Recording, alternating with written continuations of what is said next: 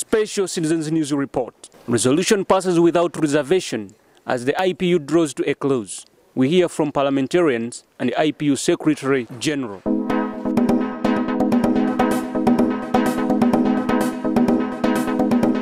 The closing session of the IPU Assembly has just finished, where we saw the IPU resolution, access to health as a basic right, the role of parliaments in addressing key challenges to securing the health of women and children, passed without reservation. Co-rapporteur Honorable Paula Turiahikayo highlighted for parliamentary action the critical importance for human resources for health, with special mention of midwives, and also gave particular focus to the role parliamentarians must play in closing the finance gap for maternal, newborn and child health.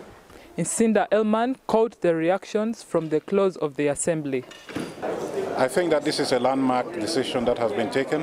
This is the first time, if I'm not mistaken, that the global parliamentary community has come together and has adopted unanimously a resolution to commit, uh, committing the parliamentary community to accelerating the achievement of MDG 4 and 5. I believe commitment and political will is what has brought Sri Lanka to, that, to this position.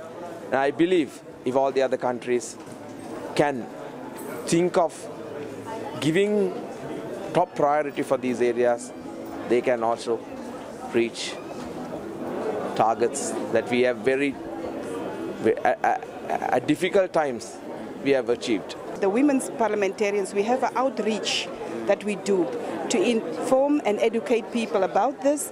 And we are also putting motions in parliament to ensure that what our governments have committed themselves to are implemented. So what we have achieved here is to agree as parliaments from all over the world. What we will do back home is to domesticate it and ensure that women and children's health are always on the front burner.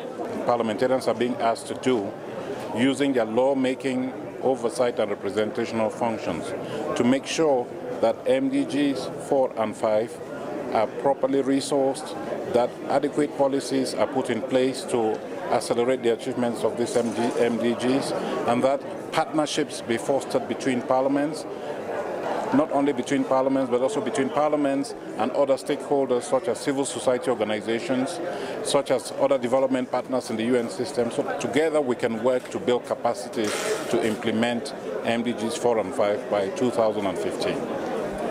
Earlier today, we spoke to the IPU Secretary General Anders Johnsson.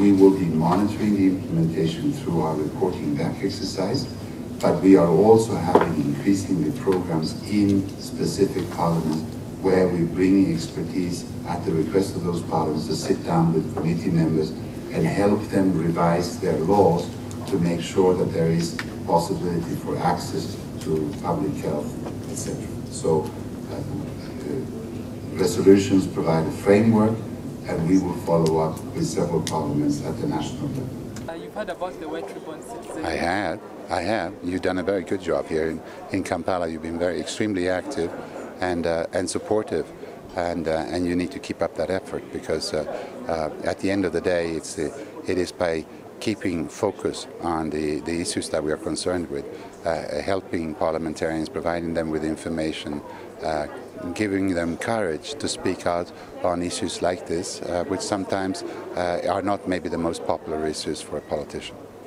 How will you push the resolution in your country? Connect with WRA on Twitter and Facebook.